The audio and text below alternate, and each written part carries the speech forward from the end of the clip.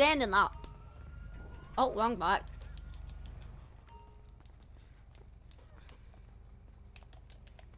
Fuck me. I tripped over my bot.